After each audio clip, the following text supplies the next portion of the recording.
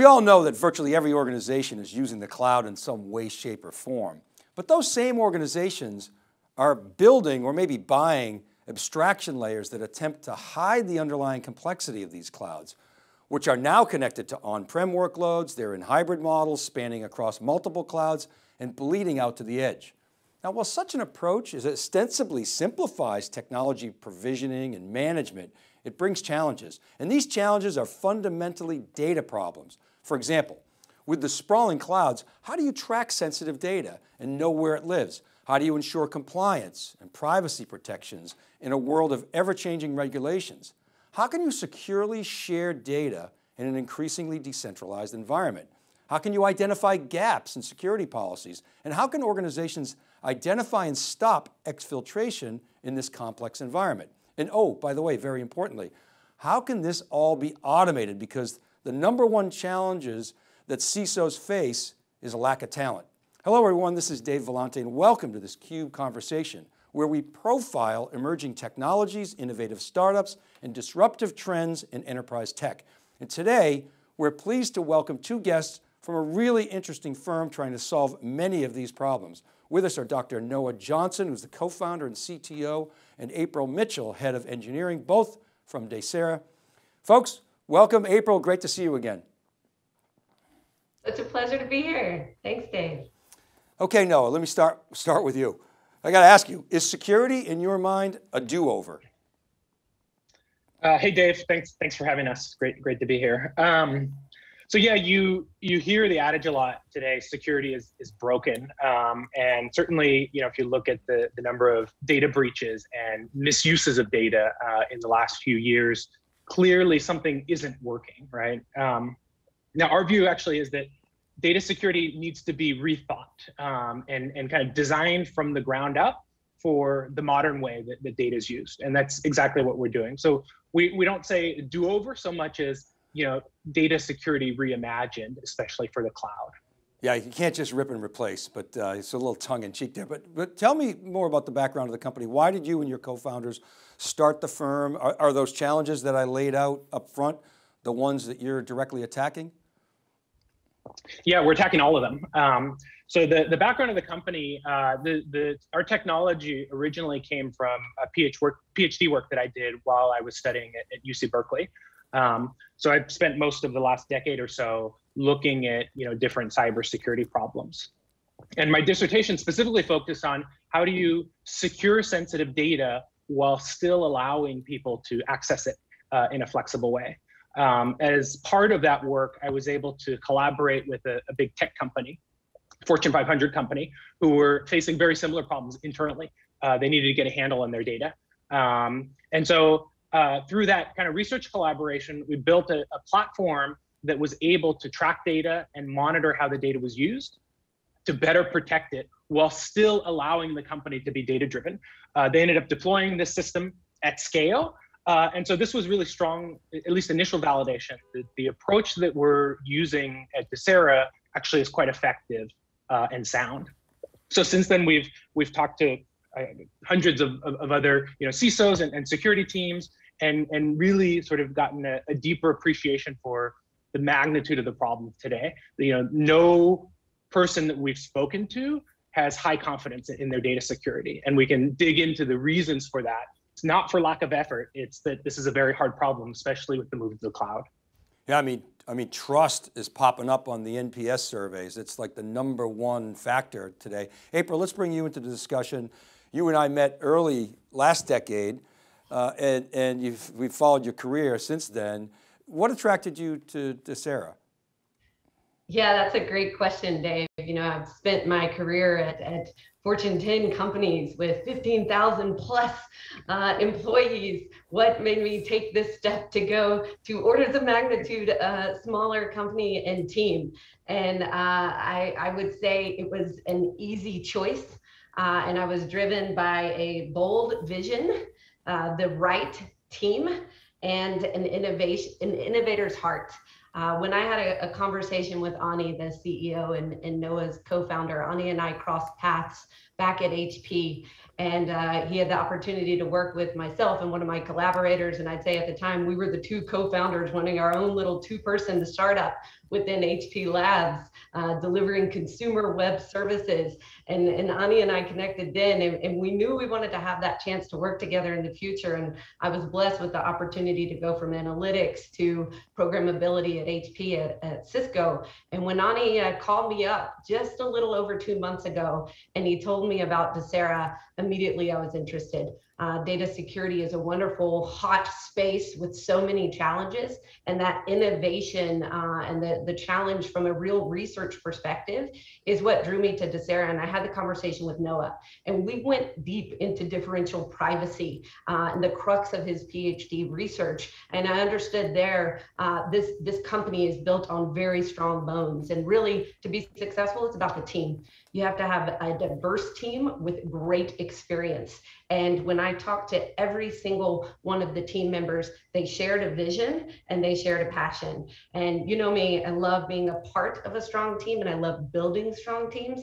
And that's exactly what we're doing here at Dasera. Thank you for that, April. So, so Noah, give us the North Star. Like you gotta, you know, early on, you guys gotta focus in on, on, on where you're headed. What, what is that North Star? Uh, our, our goal is to really solve data security. You know, we, we touched on earlier. Clearly, you know, current solutions aren't working. We think we have a very innovative solution that is, you know, designed specifically for where data lives today, which is the cloud. We see ourselves as, you know, being the kind of gold standard for tracking and managing and securing data in the cloud across the entire lifecycle. You know, from the point the data is created to all of the different ways the data is used to when the data is deleted. We want to build a system that lets companies for the first time get that visibility, create that feedback loop between the data users, the different security stakeholders, the legal teams, help them make better, more informed security decisions by providing that visibility. So April, I, I, use this chart sometimes when I do segments on security. It's, I think it's from Optiv and it's this, it shows all the different segments and this is a very fragmented market space. Uh, yeah. So, so uh, I'm, I'm wondering, like, for first of all, like, who's the enemy? I mean, who you're trying to attack, but it's so fragmented, you know, maybe there isn't, isn't one. But from an engineering standpoint, part two of the question is, what are the really gnarly problems that, that you're focusing on? But, but, but talk about the, you know, part A first, if you would. Who are you targeting here? Absolutely. I, I would say uh, the, the best uh, defense is a really good offense. And how are we approaching this problem differently? And you know, there are many data security tools out there, many processes um, from access control to DLP, uh, but we still had 4,000 events 4,000 breaches in the last year alone. So we can't continue to expect different outcomes by using these same approaches. So that's where we are changing the story and and we have a bold purpose we don't want to be a typical existing cybersecurity uh, company we want to take the approach of treating data security as sacred. Um, we want to make the world a safer place, and we want to do that by securing data across its life cycle, creation to deletion.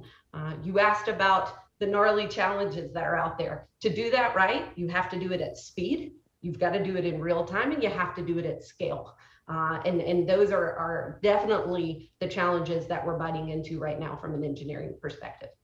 So, so Noah, when you looked at the, the landscape, you saw, as April said, there's just so many, many different tools out, out there. How do you describe your, your, your difference in the marketplace? And April, please chime in as well. But Sure, yeah. Um, so everyone has a, a slightly different approach. Um, April touched on this earlier. Um, uh, you know, we want to fix data security. So in, in some sense, we're all on the same team. We have different, you know, views of the, the most effective way of, of solving this problem, but ultimately everyone wants to solve the, the same problem. I would say we're the only ones that give a comprehensive look at the entire data lifecycle. Um, so if you look at other similar security offerings, you know, a lot of players are focused on just access control, right? Or data loss prevention, or specific features like encryption. And these are all really important technologies, um, but they're not sufficient, right? These are technologies that have been in use for the last decade, and yet we still see data breaches on, on a daily basis.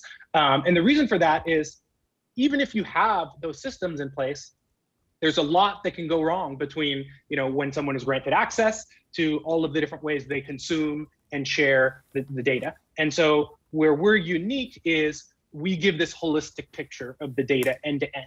And we don't necessarily replace those other solutions. Actually, we, we complement them. Our system can tell you, you know, if you have an encryption solution in place, are you encrypting the right data, right? Are you using it the right way? Um, so you get more value out of, of those tools. Or if you have access control, our platform can be a, a set of guardrails or, or, kind of a backstop that can let you know are those access control rules properly configured? Are certain users overprivileged and so forth? So really providing that context, like I said earlier, to make better security decisions. That's where we're differentiated. That's kind of our unique view of how to solve the problem. April, anything you'd add to that? It sounds like you're a platform for all these tools. I, I feel like I need, I need that for my apps. Um, but but what's the secret sauce there? Yeah, um, I think the secret sauce is is that we've learned from the challenges that our customers are facing. Um, we have an approach where we want to rapidly innovate and rapidly validate, and our team is doing that.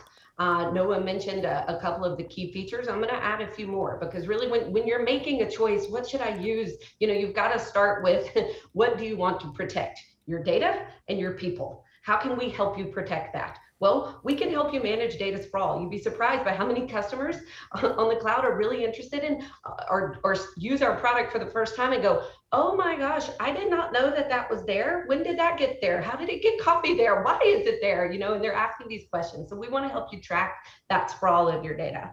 Um, we want to monitor the data when it's in use. Um, how are people querying it? How are your employees accessing it? How are they using it? Are they using it in the right way? Are they using it in the right way today? Are they using it in the right way tomorrow based on the permissions? Uh, and, and we can give you that risk analysis and that perspective. Um, we also want to let you know when the data sprawls, when there's a new copy and it's stored in a new data store, is it configured the right way? Are you protecting it uh, the right way? We can analyze that for you as well. So really the, the completeness of the features from the end-to-end -end solution, you can't protect across the entire data lifecycle from creation to deletion unless you're truly connecting and understanding how the data is being used. Great, thank you. Noah, what's the ideal customer look like? Big, small, different industries? Give us the ICP. Um, so as, as far as industries, I mean, our, our view is, you know, data breach is a data breach. So, you know, any company that collects data and, and needs to protect it uh, would, would benefit from, from our solution. I, I would say specifically, you know, organizations that uh, are cloud first and, and data driven, meaning they collect a lot of data and need to use that data, especially if that data is sensitive. So think B2C companies, retail, you know, e-commerce, social media, finance.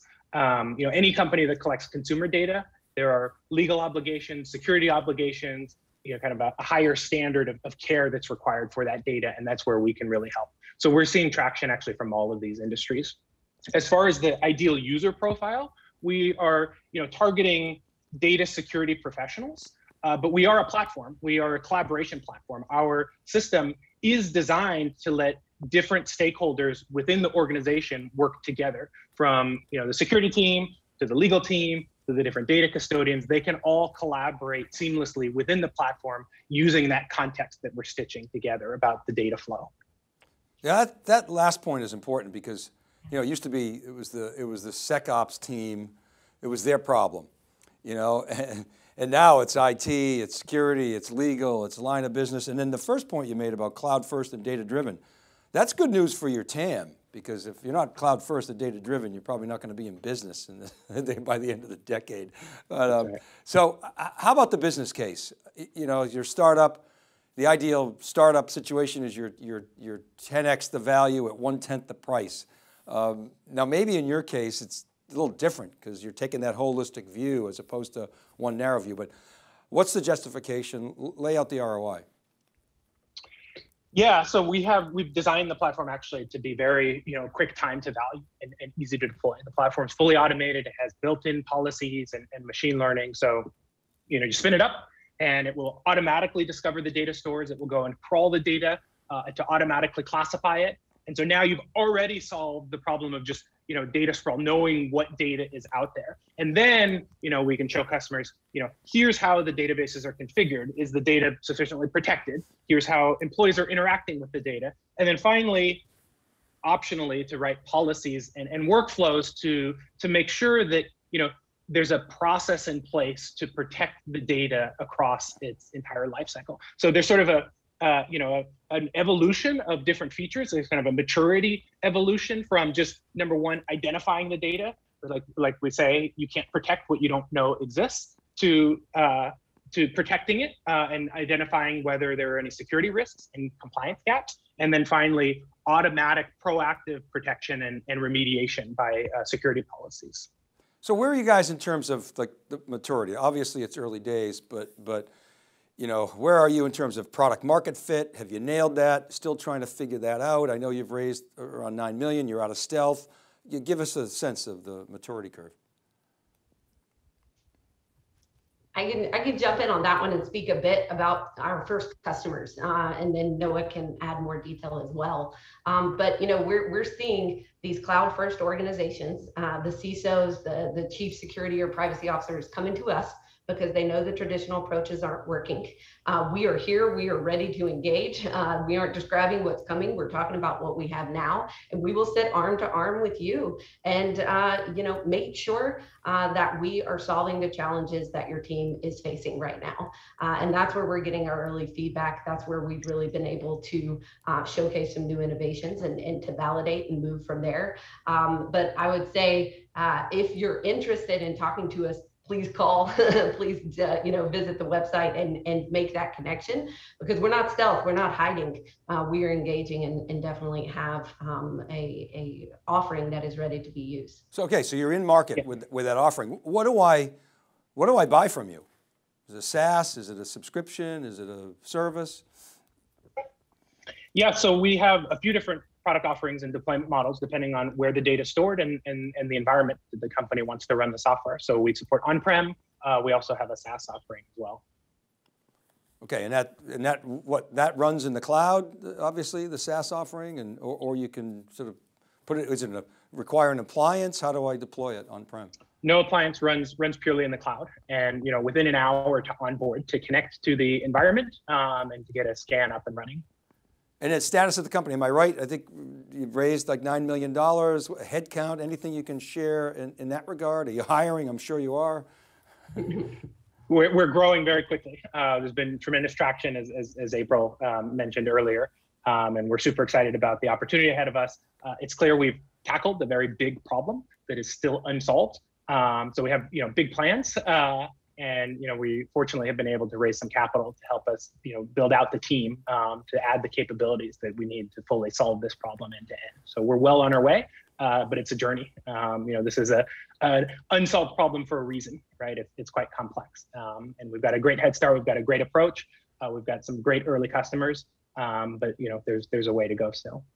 And i'll, I'll use that opportunity uh, to say yes we are hiring. And if you're interested in this space uh, if you want to learn uh, from a, a, team of experts, but also grow uh, your skills and, and, and take on some new challenges, then please uh, go to the website and check out the current positions that we have. Drop me a, a ping uh, through any of the social media networks because um, we'd love to hear from you.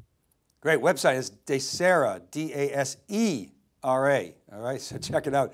Guys, great to have you on. Thanks so much best of luck. We'll be, we'll be tracking you and, and really congratulations on, on getting to this point. And I know you got a lot more work to do, but really exciting times, I'm sure, for you.